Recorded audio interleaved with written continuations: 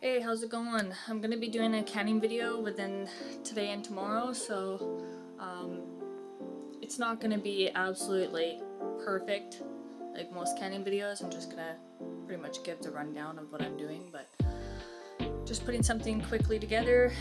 This weekend I will be filming my mother and I doing uh, a couple different things with the tomatoes that we have, so I'll be posting that when it's done as well but um, for now I'm doing chicken broth so I will show you what I do there. Hope you enjoy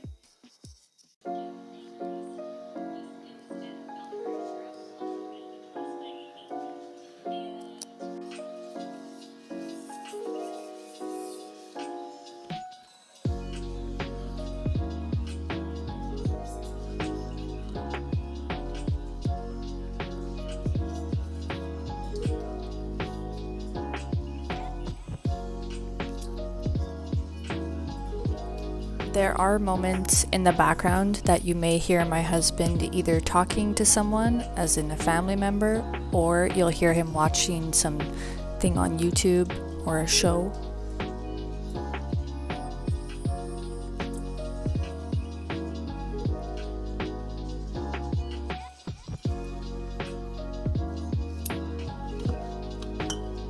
In the previous clip before this, you saw potatoes.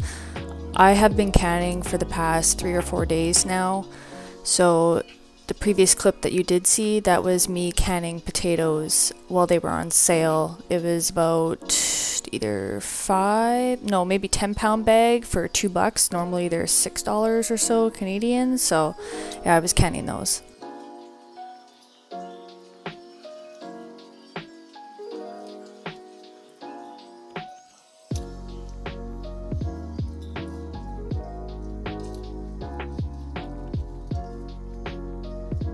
Right now, you can see me. Um, I'm tearing apart chickens. I had three full chickens in my freezer that I was waiting until layoff season to be able to can. So I cooked them in the crock pot and I was tearing apart the legs and taking off the skin and whatnot and putting chicken in the um, pints. That way they could be like shredded with chicken broth.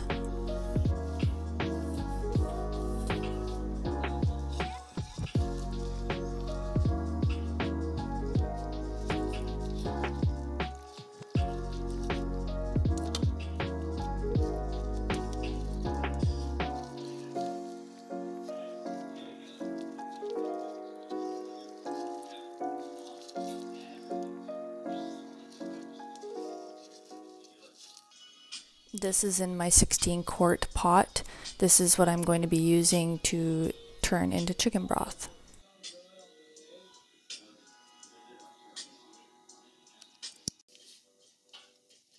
So I had two crock pots going, one with two chickens and another one with chicken and the other side chicken breasts.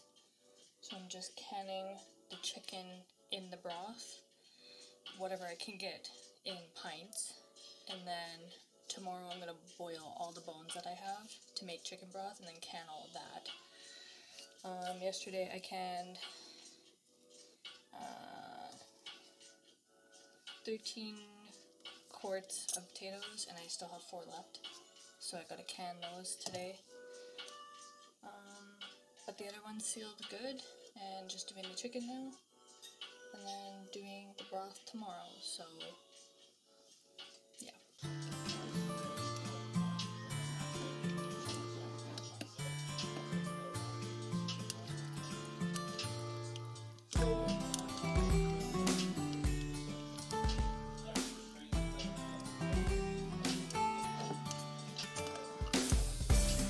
So you saw earlier I had gloves on my hands. Uh, when I was peeling potatoes the previous day, I cut my pinky open.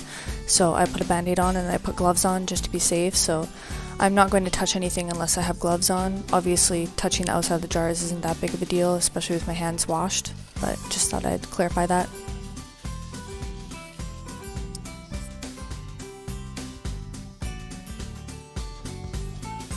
Because I'm canning chicken, I'm wiping the rims of my jars with white vinegar.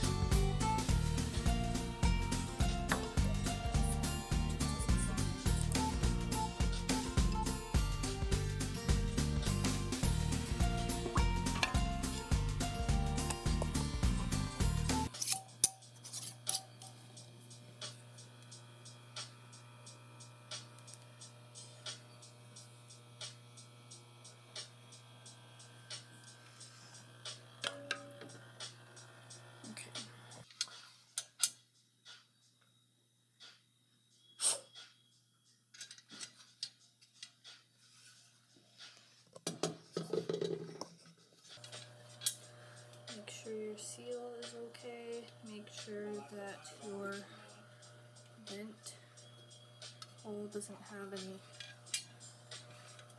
bubbles in it.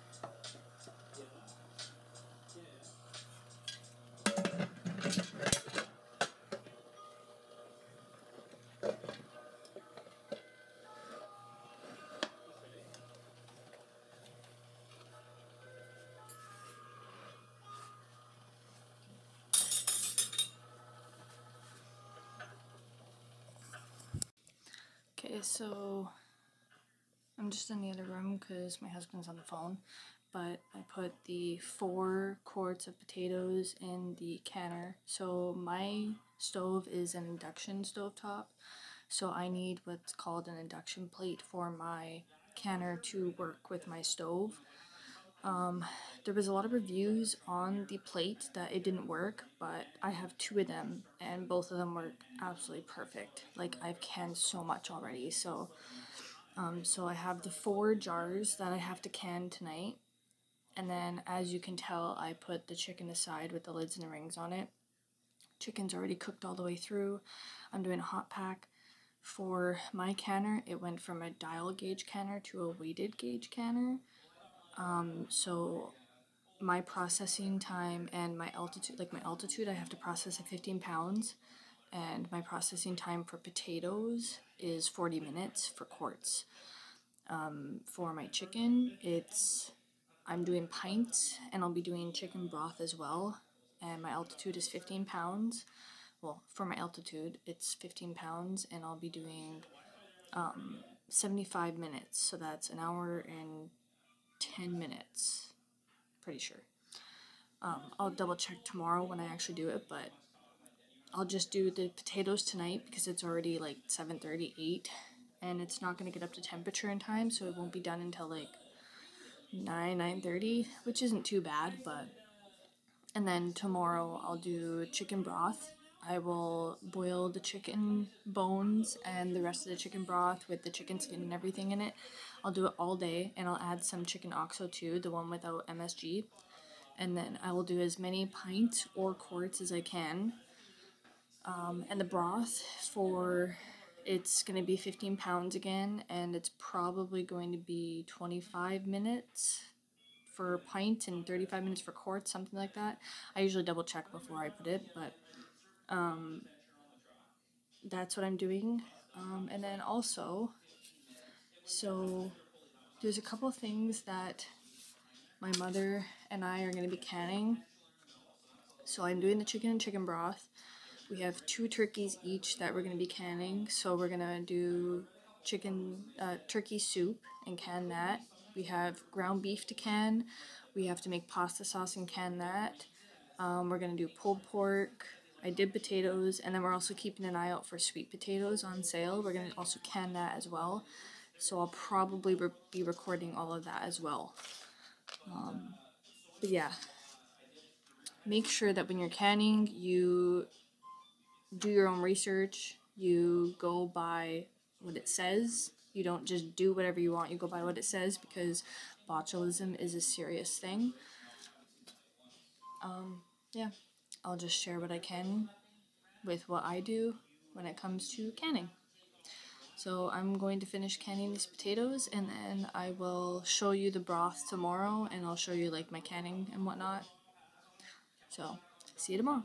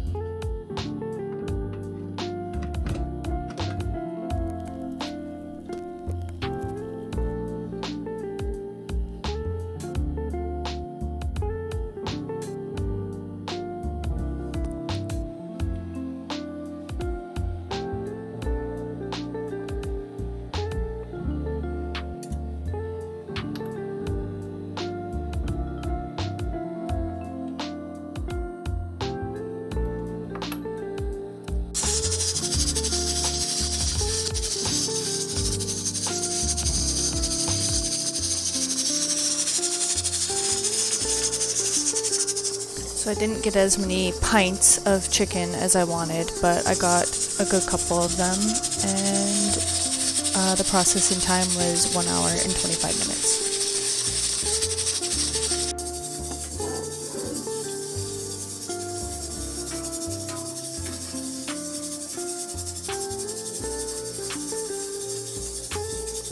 So I actually boiled my chicken bones uh, and skin and whatever else I had left. I actually boiled that overnight until like 10 a.m. So it was a very, very rich chicken broth.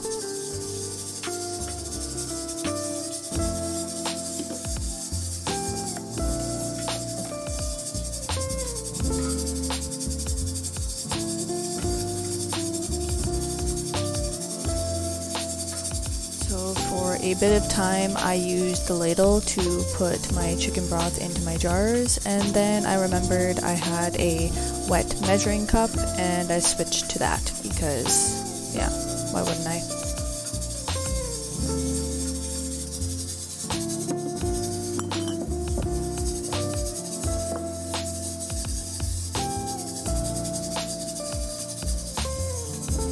Don't forget your one inch headspace.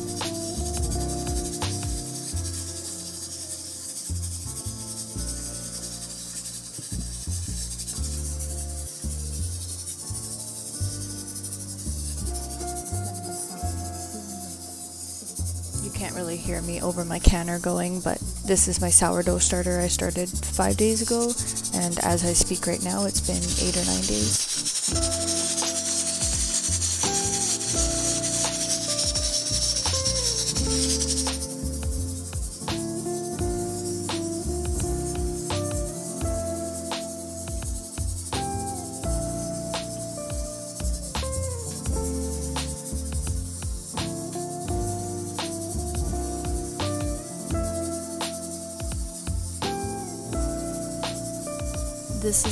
Artemis. This is our first kitty, and we have another kitty named Jupiter, which is a tabby and a pain in the ass.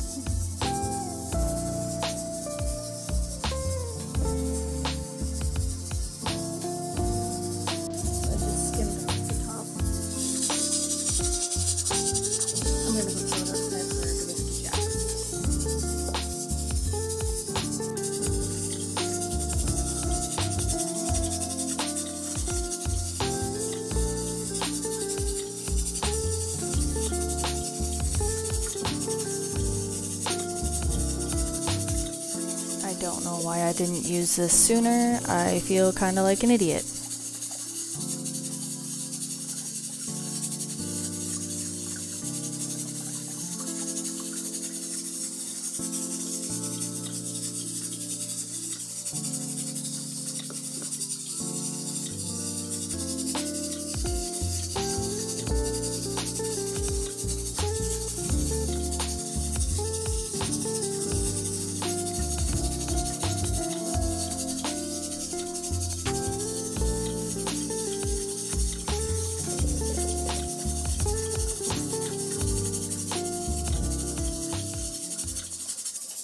So we got 2, 4, 6, 8, 10, 12, 13 pints and 4 quarts to process next after this chicken is done in the canner.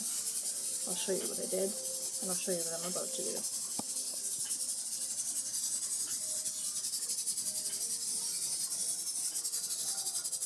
So when you're working with chicken or meat that have like a grease type substance that could possibly go around the rim of the jar, you need to wipe it down with vinegar. So that's what we're going to do.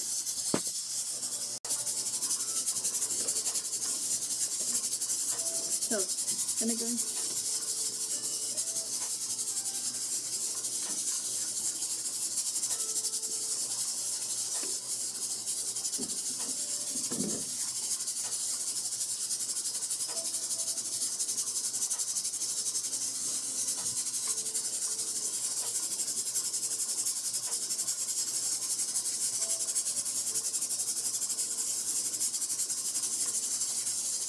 That's it.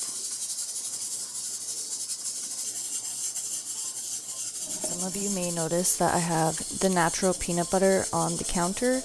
I use it not only for us, but I also use it to make homemade suet because I have a lot of birds. So now that I wiped all my jars off, I'm going to put my lids on and my rings. I don't have enough rings up here, so I have to go down to the cellar and get more. So we're going to get more rings because I don't have enough upstairs. Um, my canner has about 22 minutes left and then I can turn off the element. So, um, I am not showing anyone my whole cellar because there's enough of that shit on YouTube. Plus, you don't need to see my cellar, it's my cellar. But I'll show you. I have lots of rings. So we're gonna grab the rings. I wiped off all the rims of the jars with vinegar because I was I was putting chicken broth in it and I put non like no MSG uh, chicken oxo in my chicken broth just to kind of season it up a little bit and I boiled it overnight so it's really really like really nice looking. Um, this is my last chicken broth that I did and it's act like it's actually really nice. I did this in August but it looks really good. But, so going to do that, going to put the lids on, and then we're going to put the rings on. And then once the canner has cooled completely down and I'm able to take off the weight, I'll take off the weight, I'll wait another 10 minutes, and then I'll take the lid off. And then I usually just take the jars out right away, but you can wait until it cools down a bit after that. Um, I have to run to to um, the mailbox quick, and then I'm gonna come back and I'm gonna put the pints in the canner first. And the pints are gonna probably be 25 minutes, but I have to double check that. I can't remember exactly, but I'll check it before I do it. But anyways, yeah. Normally when you put on lids, you should put them in warm water and then put them on. I don't do that. I don't recommend that you follow what I do, but I don't do it.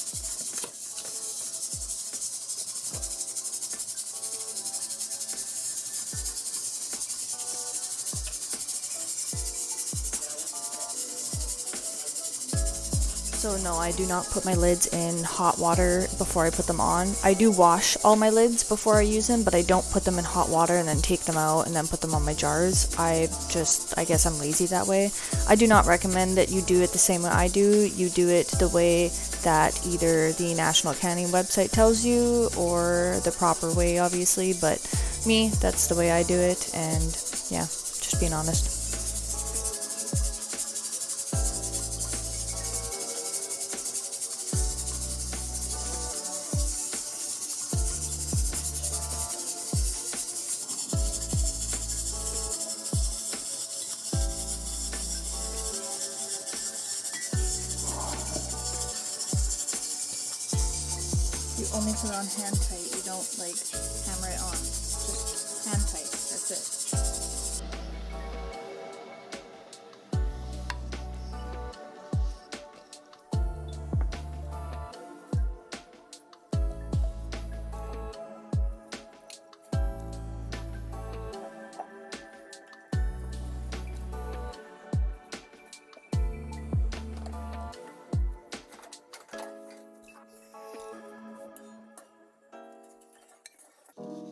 So I just took my pints out of the canner.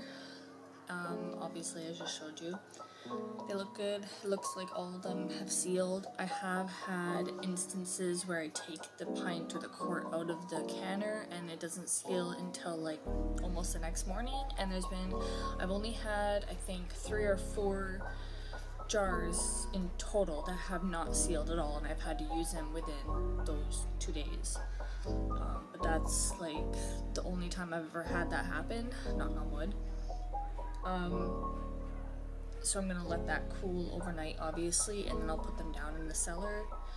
Um, I have four quarts that I have to can still, but I'll do that tomorrow because it's not a big deal. Like they're sealed right now, so.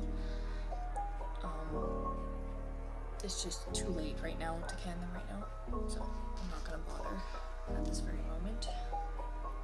But um,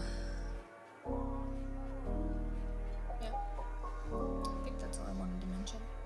If there was one thing that could help me feel better during a shitty day and I couldn't go outside or something, it'd be canning.